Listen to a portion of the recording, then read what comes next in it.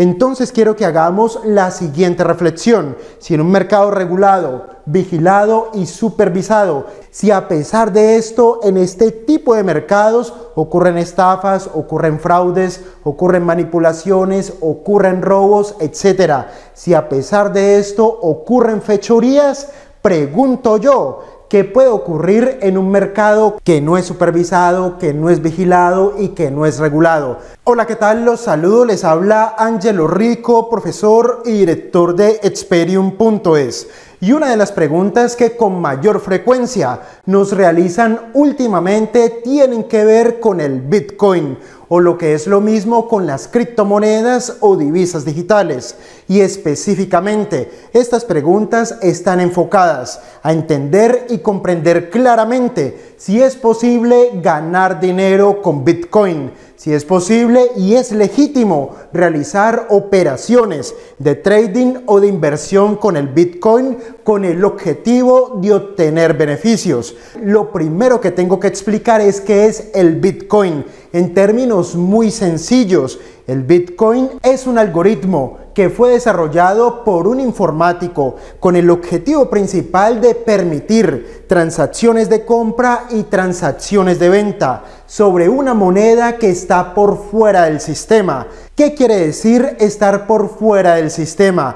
Una moneda o un mercado que está por fuera del sistema es aquel que no es vigilado, que no es regulado, que no es supervisado. Y atención a esto porque son variables muy importantes. Voy a ponerlo en perspectiva. Cuando nosotros invertimos en acciones, en divisas, en índices bursátiles o en materias primas. En el fondo estamos invirtiendo en mercados que son regulados, que son vigilados, que son supervisados.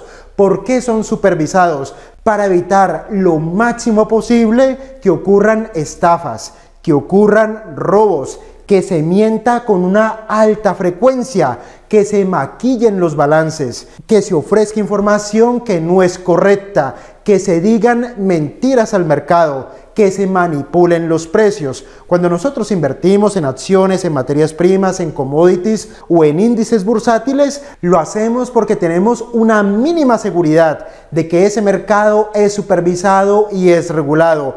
Pero a pesar de esto, a pesar de tratarse de mercados vigilados, regulados y supervisados, ocurren estafas, ocurren robos, ocurren la manipulación de precios, ocurre el maquillaje del balance, ocurre la manipulación del mercado, se ofrece información incorrecta para el mercado y se pierde dinero, dinero que es de los inversionistas. Entonces quiero que hagamos la siguiente reflexión. Si en un mercado regulado, vigilado y supervisado. Si a pesar de esto, en este tipo de mercados ocurren estafas, ocurren fraudes, ocurren manipulaciones, ocurren robos, etc. Si a pesar de esto ocurren fechorías, pregunto yo, ¿Qué puede ocurrir en un mercado que no es supervisado, que no es vigilado y que no es regulado. Los mercados de criptomonedas, de monedas digitales o de bitcoins. Este tipo de mercados son autorregulados, son autovigilados.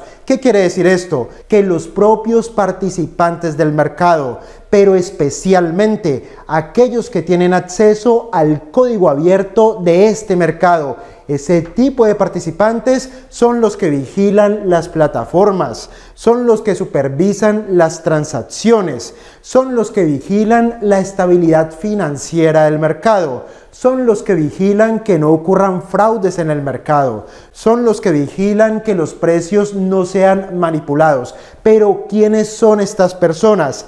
Ese es el problema. El problema es que no las conocemos. El problema es que no sabemos quiénes son realmente, verdaderamente, en la práctica, quién vigila, quién supervisa y quién dirige el mercado alternativo de Bitcoin. No lo sabemos. En el fondo, en la práctica, ¿qué quiere decir esto? Que robar es fácil, que la ocurrencia de fraudes es fácil, que la ocurrencia de manipulaciones en los precios es fácil.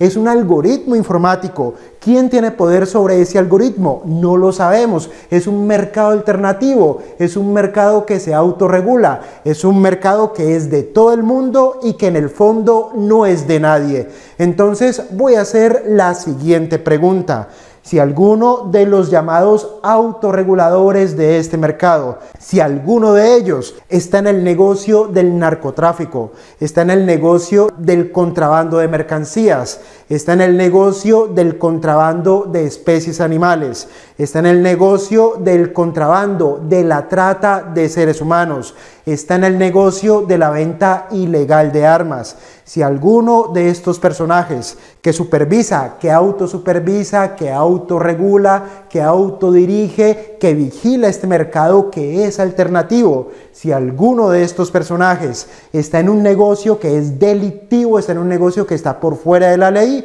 esta persona estaría ante la enorme tentación porque nadie los vigila, nadie los supervisa, nadie los regula, esta persona estaría ante la inmensa tentación de lavar dinero, de blanquear dinero. Es uno de los grandes riesgos de estar en un mercado que no es de nadie, de estar en un mercado que es alternativo, de estar en un mercado que es emergente, de estar en un mercado que es lo más parecido al salvaje oeste. Nadie lo vigila, nadie lo supervisa, nadie lo regula. Cualquier cosa puede suceder. Cuando nosotros invertimos en bolsa, cuando nosotros compramos o vendemos acciones, cuando nosotros compramos o vendemos divisas, compramos o vendemos materias primas o índices bursátiles a través de distintos instrumentos financieros como pueden ser futuros, como pueden ser CFDs, como pueden ser índices bursátiles, como pueden ser opciones sobre acciones. Cuando nosotros operamos, cuando nosotros compramos y vendemos en los mercados, lo hacemos porque existe una mínima estabilidad jurídica, porque existen unas reglas que todo el mundo en apariencia, por lo menos en apariencia, tiene que cumplir, porque sabemos quién lo vigila, quién lo regula, sabemos dónde nos podemos quejar, sabemos a quién podemos demandar. Hago la siguiente pregunta, si ocurre un robo de criptomonedas, si ocurre un robo de bitcoins, ¿a quién vamos a demandar?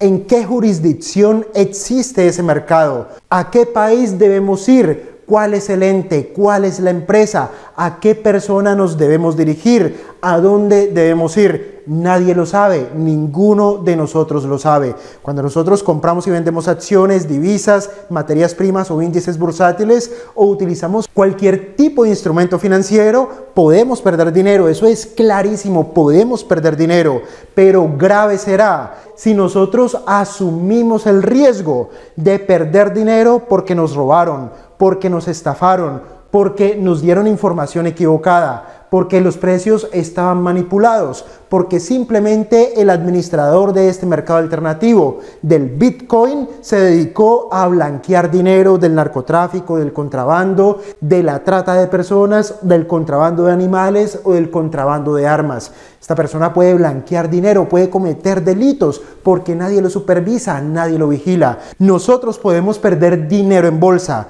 pero si perdemos dinero porque hacemos algo que no entendemos, porque asumimos riesgos que no comprendemos, porque asumimos riesgos sobre algo que nadie vigila y que nadie supervisa. Si nosotros asumimos ese tipo de riesgos, los estaremos asumiendo porque se nos dio la gana, los estaremos asumiendo por ignorantes. Muchas personas, pero especialmente alguien que conoce este mercado porque invierte en él, porque hace transacciones, lo conoce, él dice que lo conoce, muchas veces me ha dicho, Ángelo, ¿por qué no inviertes? Ángelo entra, Ángelo, date la oportunidad de entenderlo. Esta persona lo conoce, esta persona invierte, esta persona es un informático, esta persona supuestamente sabe. Yo le contesto siempre algo como lo siguiente, yo no invierto porque yo no entiendo. Yo no invierto porque eso se sale de mi parcela, esa parcela en la cual para hacer algo yo necesito comprender exactamente lo que hago. Yo necesito comprender exactamente los riesgos que estoy asumiendo. Yo necesito comprender exactamente cuáles son las fuerzas que mueven ese mercado cómo se mueve ese mercado, cuáles son las cosas que afectan a ese mercado, Como yo no lo entiendo, como yo no lo comprendo, yo no puedo invertir. Eso es lo que yo le contesto. Pero adicionalmente yo no invierto porque estaría asumiendo riesgos exagerados. Estaría asumiendo el riesgo de que me roben, el riesgo de que ocurra una estafa, el riesgo de que yo entre a un mercado que puede ser totalmente manipulado, el riesgo de entrar a un mercado cuyo autorregulador, cuyo autosupervisor, cuyo administrador podría utilizarlo para blanquear dinero o para realizar transacciones ilegales o transacciones delictivas como a mí no me gustan las historias, como a mí me gusta entender lo que hago, como a mí me gusta dormir bien, yo no lo hago. Entonces esa es mi reflexión. Podría ser que el Bitcoin, las criptomonedas o las divisas digitales sean el futuro de los mercados monetarios. Estaré cuando ese futuro sea regulado, sea vigilado y sea supervisado. Y cuando yo tenga un criterio mínimo para invertir, cuando yo sepa quién lo administra, quién exactamente lo administra, cuando yo sepa exactamente quién lo vigila, cuando yo sepa exactamente a quién puedo insultar, cuando yo sepa exactamente a quién puedo demandar, cuando yo comprenda exactamente, correctamente, por quién puedo ir a por mi dinero como yo eso no lo sé, como no lo entiendo, como es un mercado que es opaco, como es un mercado que no es transparente, entonces yo no lo hago y esa es mi sugerencia. No lo hagas. Espera el siguiente video porque este video hace parte de un gran especial del mundo del trading y de las inversiones. Este es el primero, serán 15 días para conocer, para aproximarte, para entender cómo funciona el trading y las inversiones, cómo funcionan los mercados, cómo tú puedes utilizar los mercados para crecer tu capital, para crecer tú, para ser libre financieramente. Entonces te animo a que estés pendiente. Te agradezco toda tu confianza y toda tu atención. Hasta la próxima.